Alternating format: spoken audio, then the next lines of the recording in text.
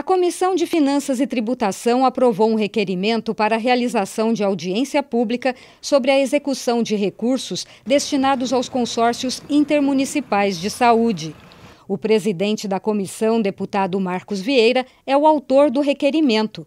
De acordo com o parlamentar, as prefeituras arcam com despesas de saúde que, pela lei, são competência do Estado e da União.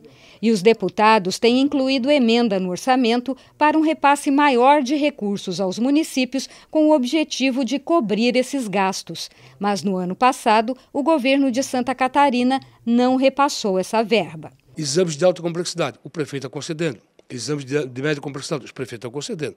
Então, é um custo adicional para as prefeituras que não é competência do prefeito é, conceder. Então, por isso que nós temos, ao longo desses últimos anos, colocado no orçamento do Estado recursos suficientes para que a saúde, a Secretaria de Saúde de Santa Catarina, possa fazer o ressarcimento dessa situação aos municípios. Já foi feito em 2020, o governo não fez em 2021. A audiência pública foi marcada para o dia 27 de junho, às duas horas da tarde, na Assembleia Legislativa Legislativa.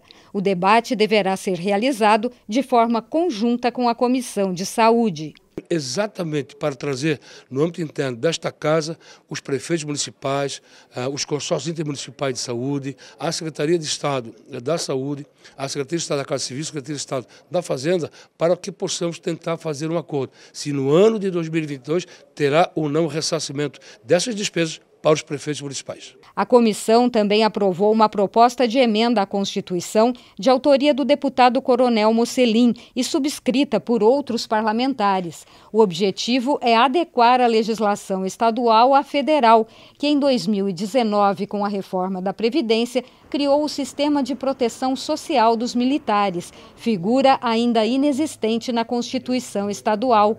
O objetivo é garantir benefícios a inativos e pensionistas da Polícia Militar e do Corpo de Bombeiros Militar.